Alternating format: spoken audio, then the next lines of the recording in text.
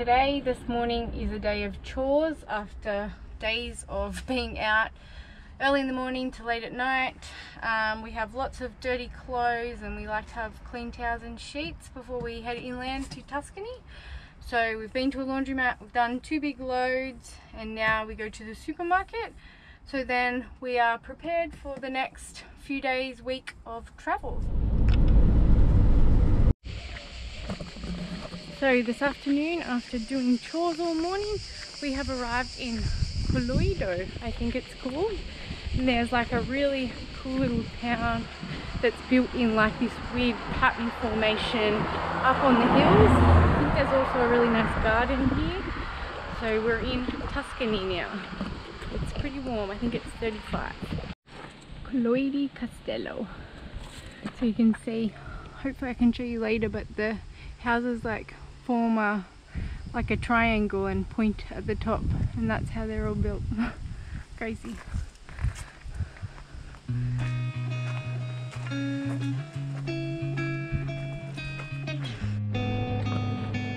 Neighbor's cat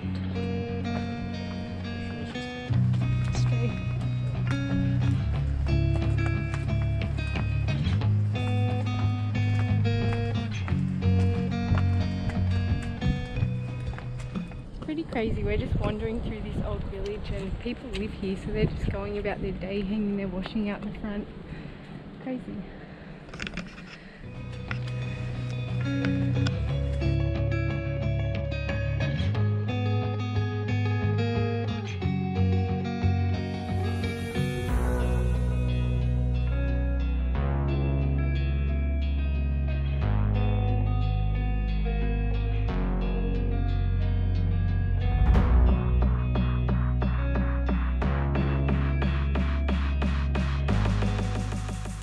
Driving along this road to our next stop. We're headed towards some lavender fields and we've just noticed sunflowers growing everywhere so I got lucky to pull over.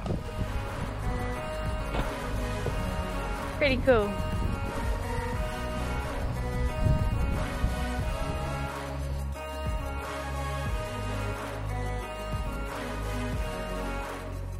So today we are in uh, Greve in Chianti I think that's how you say it. So this is where the Chianti wine comes from and we are checking out the town and later this afternoon we're driving a bit further and going to stay at a winery tonight.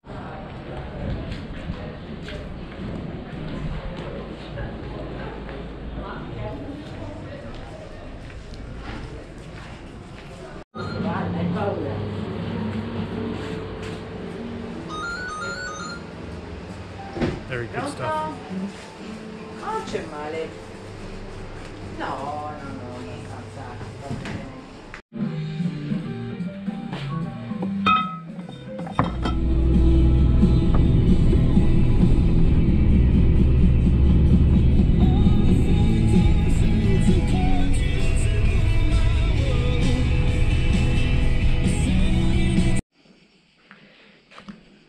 So we've just arrived at the winery where we're going to stay tonight and do a tour and tasting. What's Lucky? Yeah, it's really nice. So we've tried a rosé and now we are going to the vineyard.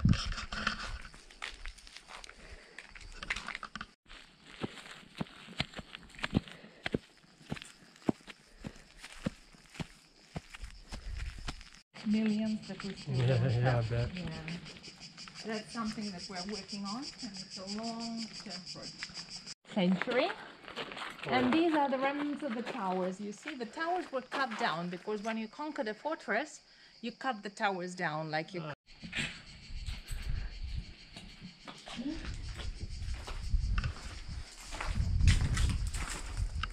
And you can imagine. And this is where wine aging happens. Now, We've got some local olives. We've got the Chianti Classico wine, which is the special wine from this region. And we've got some local bread with their homemade olive oil. And this beautiful view all to ourselves. Now moving on to some local produce, some local meats and cheese. And we are failing wine class. when You are failing. I'm failing wine class, she's asking us what flavors we can taste and like what specific fruits, and I can't tell. I can just say it tastes fruity and it is delicious wine. So, not a wine connoisseur, but the wine is very good. So this is the winery we are at in Tuscany. We have, after the wine tasting, we have bought a bottle of this delicious, delicious Chianti Classico to drink. And because we are, we get to stay here in our camper van and it is quiet, we get to use the terrace after hours. So we're going to sit here, drink our bottle of red. We've brought the picnic basket up because Tommy is parked just down there. And we get to use this view. So if anyone is in Tuscany, we definitely recommend coming to Fattoria della Aiola, uh, the the vine the winery here, and doing. Uh, we did an hour and a half tour. You got to taste five wines, some local cheese, meats, bread, um, and it was really really good and really informative. We learnt a lot. So definitely definitely recommend. If you're in a camper van, it's an added bonus. You can stay and enjoy the terrace. How good is this?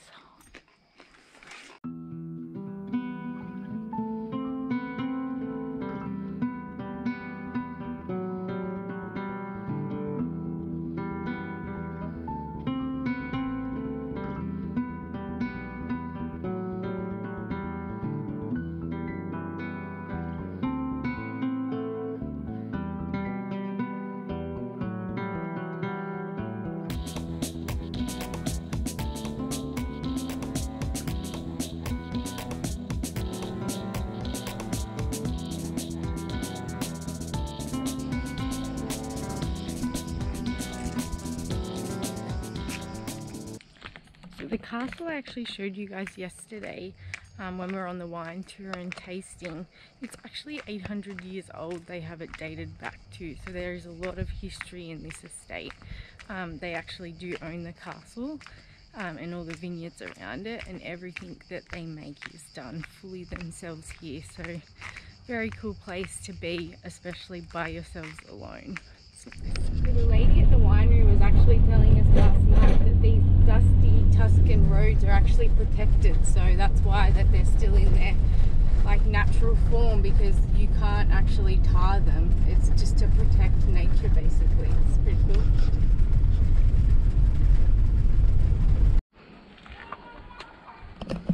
We have just arrived in a camper van park uh, about two kilometers away from San Gimio. I think that's how the lady said it, the Italian lady said it. Um, so we are going to ride the bikes into town to visit it. It's supposed to be really, really nice. So you can see the town of San Gimio in the distance.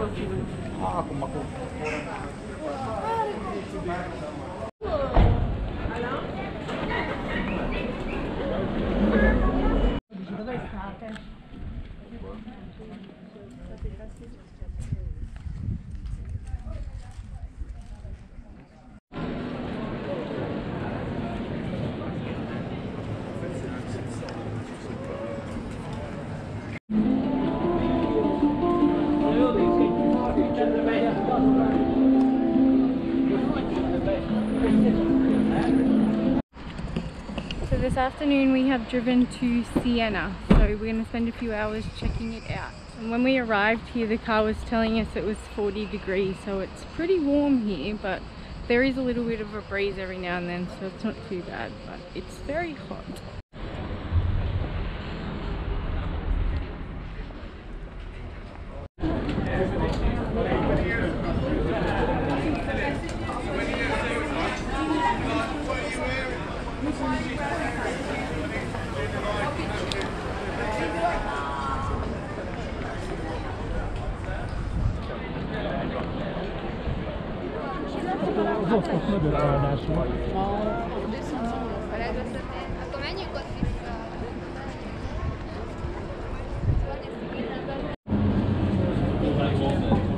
So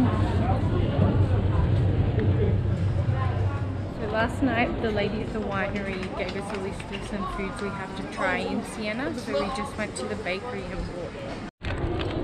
So this is one of the biscuits we bought and what are they called? Richielle, Richielle, I'm not sure.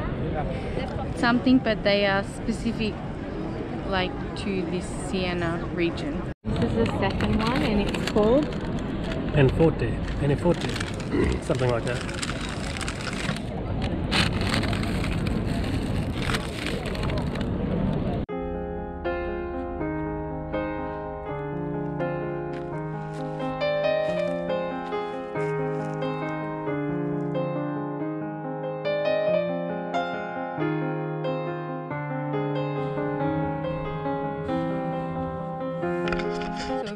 Parked up at this famous photo spot. Uh, wants to be here for sunset, so we're going to have dinner here, wait for sunset, and then we'll move back into town at the Campervan Park um, after he's taken the photos. But it's beautiful.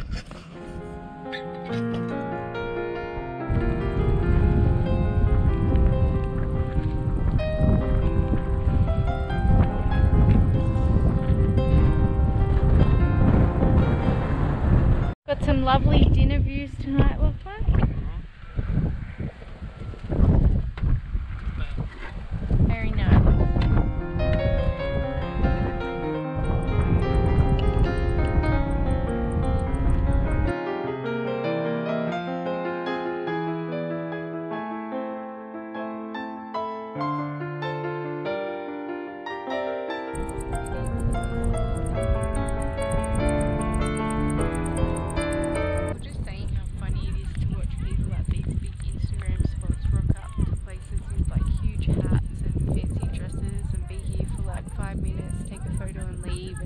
Not actually enjoy it. And like they're just in clothes that you would never wear if you came and had a picnic on a hill or something. It's just ridiculous,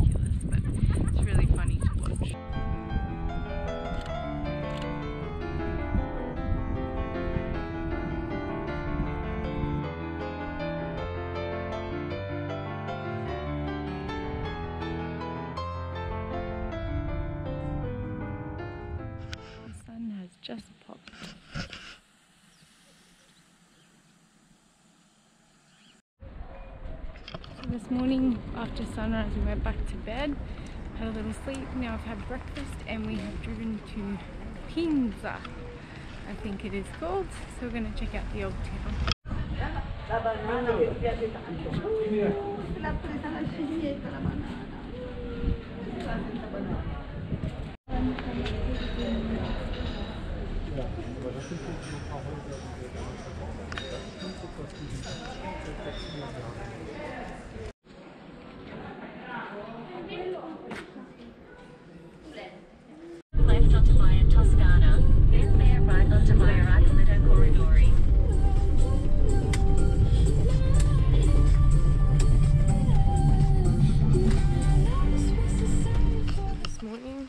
have woken up nice and early. We are just in Saturina, I think you say it, and we are heading to the hot springs for sunrise. So apparently it gets very busy. It was very busy when we arrived last night um, in the car parks for it. So apparently at sunrise and early in the morning is the best time to go. There's not many people, so hopefully it's not too busy.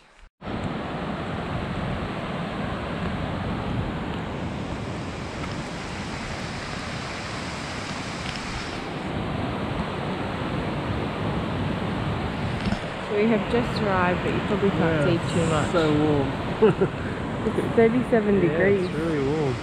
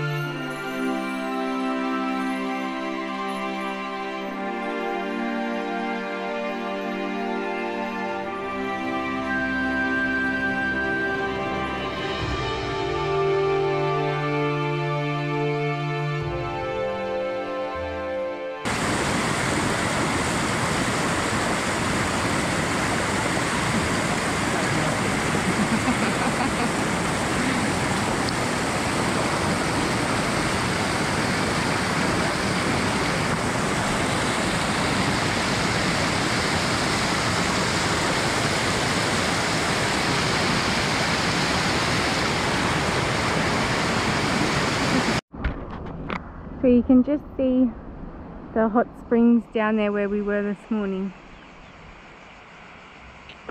And it is starting to get busy down there, so I'm very glad we got up early to go. So if you do plan to come to the Satarina Hot Springs, I can't remember the full name, what it's actually called, like something Cascade, Castel, something. Definitely recommend coming early. So today we have driven to the coast of Tuscany out of, after we left the hot springs this morning.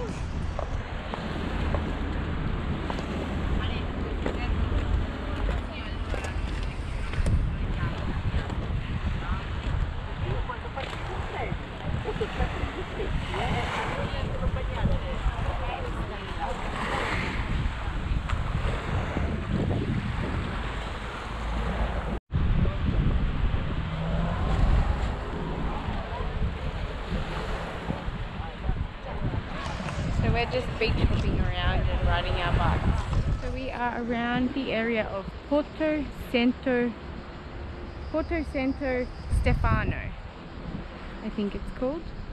And it is beautiful.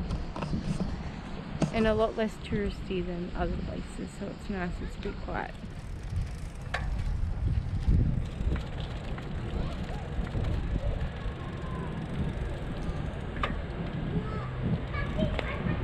It's so beautiful and it's not crowded at all. It's so nice just to ride your bike along and not have to dodge people or dodge too many cars and it's just much more relaxing and it's so beautiful. The water is amazing.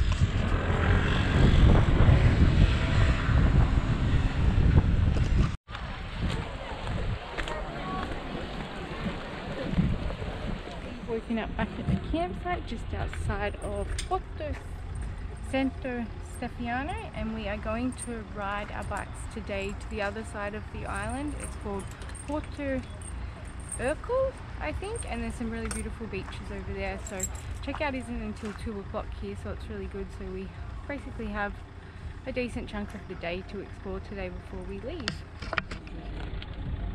Yes. Yay! So this is Orbetello and it connects uh, Porto Santo Stefano um, and Port Ercole to the mainland. Um, but it is, I don't think you, I think you can only come through through the other islands. But I think it's all national park, but it's really beautiful.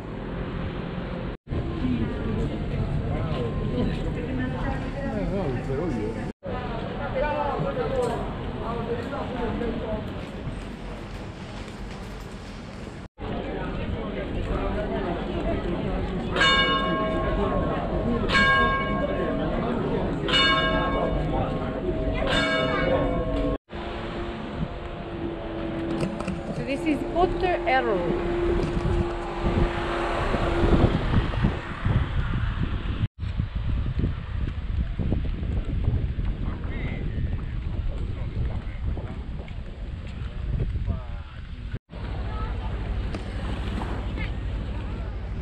Having lunch at Bengala Beach. Mm-hmm.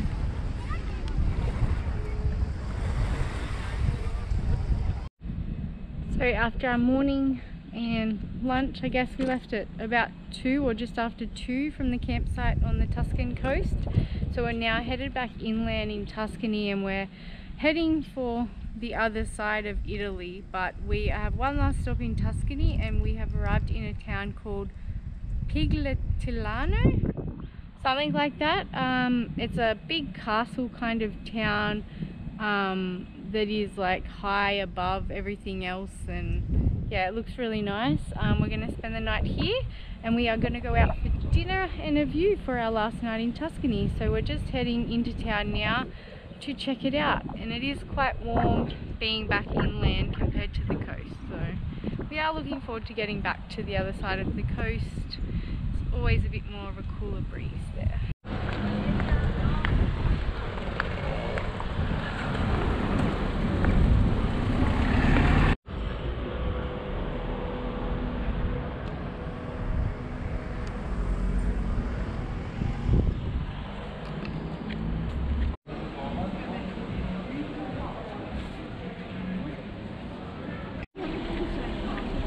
Okay. I trust you. Okay, thank you. Bye bye.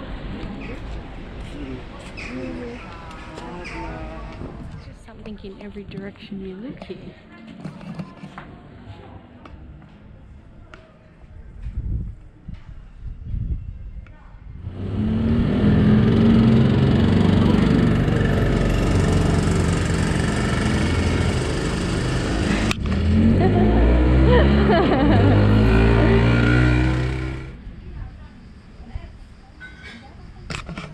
This is our dinner view for tonight.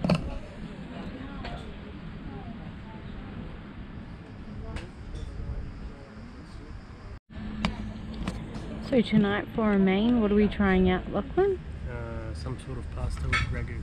No, Tuscan, Tuscan, You can't even remember. oh, Tuscan pasta with wild boar ragu yeah. because wild boar is very, there's a lot of wild boar around here. hmm Eh sì. Good, Delicious. delicious with an amazing view. Where's your dinner and a view? Bellissimo. Bellissimo.